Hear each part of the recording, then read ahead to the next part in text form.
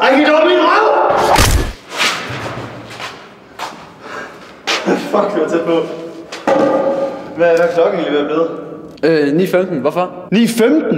Er ikke der, lige går for samle alle elever med morgensamling? For helvede. Fuck, okay, prøv at, øhm, øh, okay. Har du stadig kameraet flyttet op to? Ja, ja. Okay, så gå over på pladsen, ikke? Find rundt, for, for Tue, øh, der er død, med altså alle detaljer, ikke?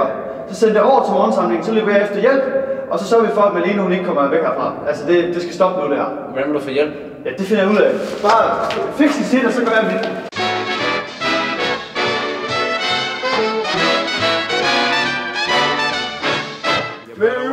Vel jul. Det er det godt hyggeligt, det her. Allan, du er nødt til at hjælpe mig.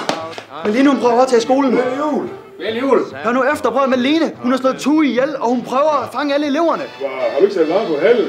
Du skal kunne bruge den her klokken 7. Der var der masser af varme på det sidste, jeg var derovre. Prøv at drenge, I mister jeres arbejde, hvis I ikke gør noget ved det. Kraftteam, de fryser helvede til. Ja, men de kan bare tage dem tøj på.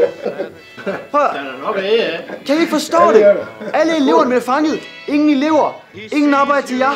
Ingen skole. Ej, det er jo sat nemt grov. Det er jo lige godt grove. Okay, så det har I, det har I styr på, eller hvad? Det, Ja, ja, ingen problem. okay, så Det ordner vi. super. Men Det er ordentligt. jeg stoler på, at I klarer den så.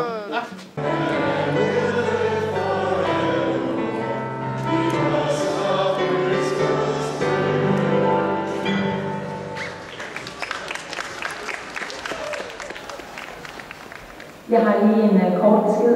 Uh, det handler om jeres skriftlige afleveringer. Og uh, det er sådan, at jeg kan se, at uh, I simpelthen ikke får afleveret jeres skriftlige afleveringer til tiden. Og det er et problem. Så jeg har fundet nu en uh, måde, hvorpå at uh, alle uh, fremadrettet kan aflevere til tiden.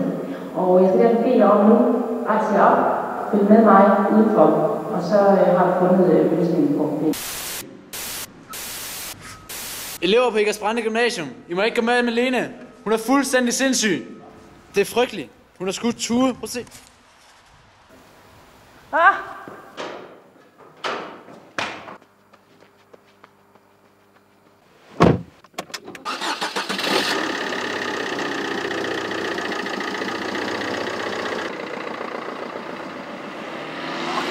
Det bliver bare sket, det her. Det her.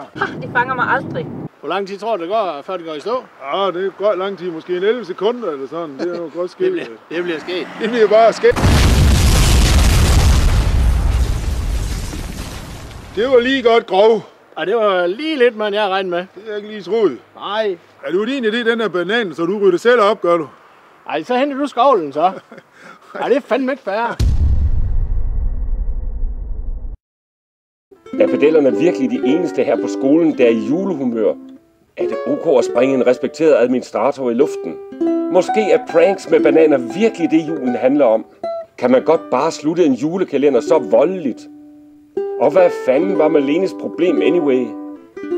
Og således blev julen og gymnasiets fremtid alligevel reddet. Og vi kan alle ånde lettet op, undtagen Allan, der skal rydde op efter det griseri. Dette var fjerde og dermed sidste afsnit af IKAS Brande Gymnasiums julekalender anno 2012. Hvis I ikke fandt svar på alle spørgsmål fra de andre afsnit, så må I følge bedre med næste gang.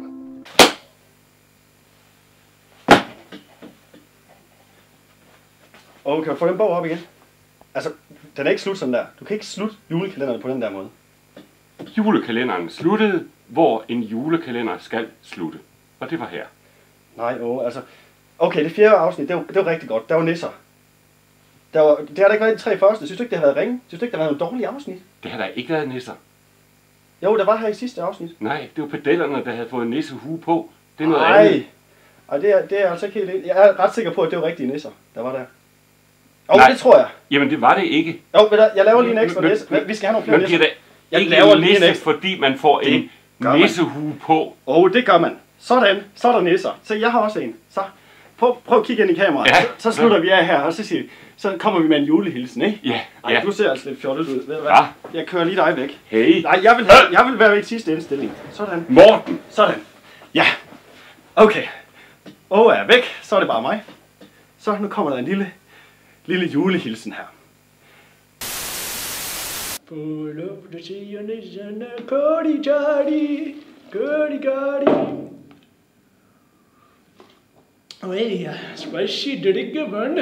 Oh, buddy, buddy. Oh, Kære Brande Gymnasium IKAS elever på gymnasiet. Jeg har fået en gratis vand. Jeg kommer rigtig til julehumør. Det er spicy vand gratis. Det er rigtig, rigtig godt. Jeg har fået alle mine lektier De har fået afleveret 12, 12, 12, 12, 12, 12. Afleveret. Jeg kan gå på juleferie, slappe af, relax. Very, very good. Og Ja, ja, det er rigtigt. Det er den danske første dansk statsborgerskab. Jeg kan komme til Indien og se min familie. Jeg kan holde jul i Indien. Jeg gør det. Det er mig. Det er fantastisk, det her synes, det var rigtig godt. Der var de der to nisser, som de fandt nede i kælderen ude på parkeringspladsen. Det synes jeg var godt. Resten har der været lidt noget skræmmende, har det ikke det? Det har det da ikke. Hm? Ej, kom her, kom her. Vi skal have nogle flere nisser i den her julekalender. Og vi slutter ikke af, uden at vi får nogle flere nisser med. Og sådan er det. Jamen altså, hvad kan man gøre andet? En, en uh, hue på mig, så ligner jeg en nisse. Det gør Men, du, øh, i den grad. Men jeg har jo briller på. Nisser har ikke briller. Og nogen har. Har nogen? Ja. Er du sikker? Ja, jeg har i hvert fald set et par stykker, der har i tidens løb. Jeg tror, vi kom lidt af sporet. det var godt.